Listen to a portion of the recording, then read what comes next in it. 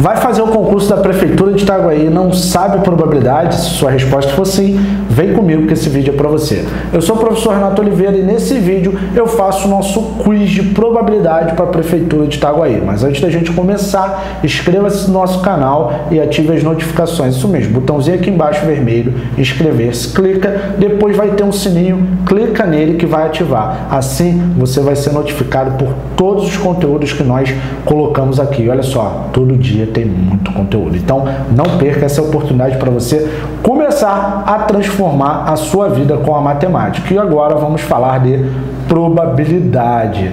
Aqui estão minhas redes sociais, troca o like, sigo de volta e vamos à questão. Simone, deixa eu só te explicar o que é o quiz. De repente você é novo aqui não conhece. Toda segunda e quarta, nós segunda nós colocamos uma questão, que é o nosso quiz, e quarta nós colocamos outra. A questão de segunda nós corrigimos terça-feira às 3h15 aqui no nosso canal no YouTube. E a questão de quarta nós corrigimos quinta-feira às 3h15 aqui no nosso canal no YouTube, tá bom? Então acompanha que tem muito conteúdo e esse quiz é bem legal porque ele ajuda absurdamente. Antes da gente começar o quiz, deixa eu te explicar aqui o que é probabilidade tá? Porque todo mundo tem medo de probabilidade, e probabilidade é uma coisa que está no nosso dia a dia. Probabilidade, sempre que você estiver afim de achar, você vai fazer isso, o que eu quero sobre o total. Então, como é que eu faço para achar a probabilidade?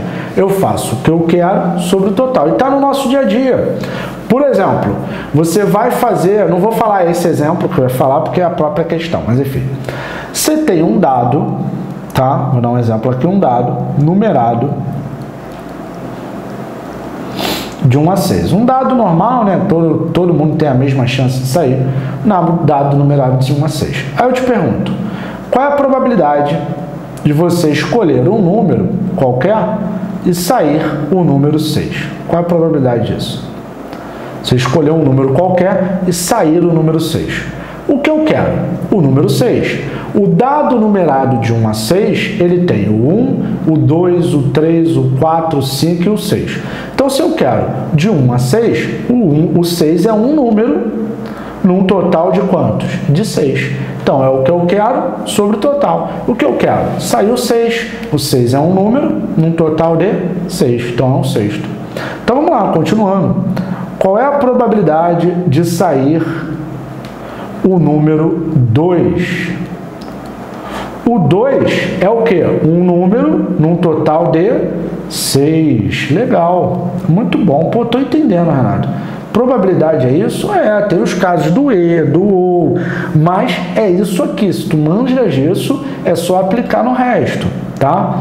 Qual é a probabilidade de sair um número, opa, um com N, aí pega, né?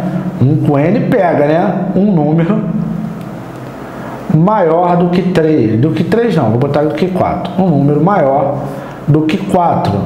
Então vamos lá. O que eu quero? Um número maior do que 4. No dado, quais números são maiores que 4? 5 e 6. Então quantas chances tem para o que eu quero? 2 num total de 6. Devemos simplificar de vez em quando ou de vez em sempre? Sempre. Vou dividir esse cima embaixo por 2. Então qual é a probabilidade? É 1 terço. Tá aí. Probabilidade é um terço. Show de bola? Um terço é a probabilidade. Maravilha. Pegou? Agora vamos fazer a nossa questão. Vamos lá. Ó, uma questão múltipla escolha de uma determinada prova é composta por cinco opções em que apenas uma é a correta.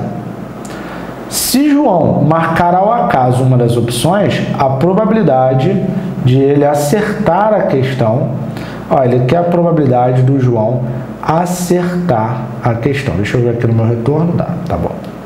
Dele acertar a questão.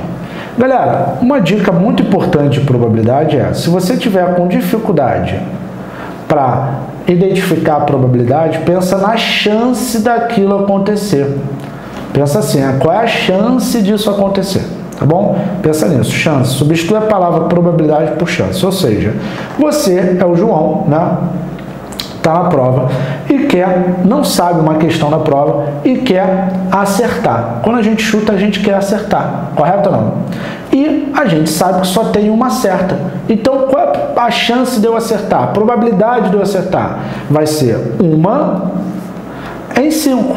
Por que uma em cinco, Renato? Porque uma está correta num total de cinco. Uma e cinco. Incrível, acabou. É isso. Probabilidade é isso, viu? Matou. Questão da CEPERG.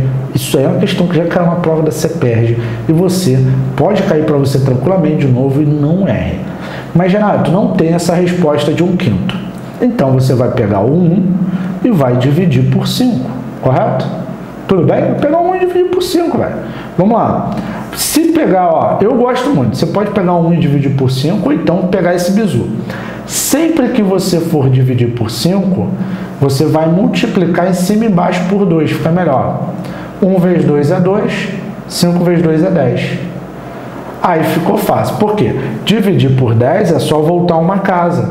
Então isso fica 0,2. Qual é o meu gabarito? Letra B de bola 0,2. Maravilha. Ah, Renato, mas essa foi fácil, então acerta. Para com esse negócio de querer desmerecer que você atendeu, entendeu, ou que isso não vai cair na prova. Isso cai, já caiu, cara. Para com isso, com esse pensamento horrível. É horrível esse pensamento. Para com esse pensamento. Pô, fala assim, caramba, tomara que venha uma dessa.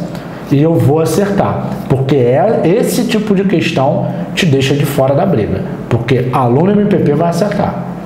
E muita gente vai acertar também, tá? Como muitos vão errar, mas esse tipo de questão te deixa de fora e até te coloca. Tudo bem? Então não perca, não perca essa. E olha só, tem um recado para você.